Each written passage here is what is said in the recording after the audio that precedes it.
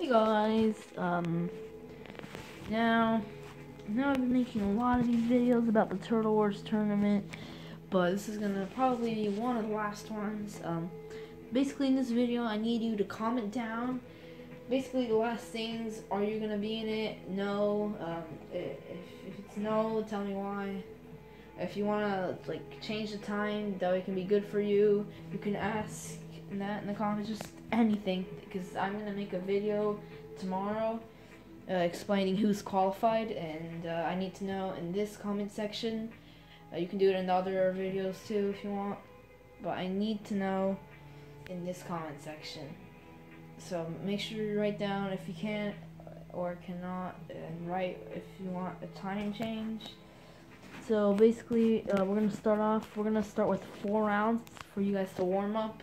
So uh, I do recommend uh, playing some uh, just a little bit of Fortnite uh, before the tournament. That you don't be like rusty. But we are gonna play four rounds before uh, the actual tournament starts, so you guys can get um, you know practice and everything.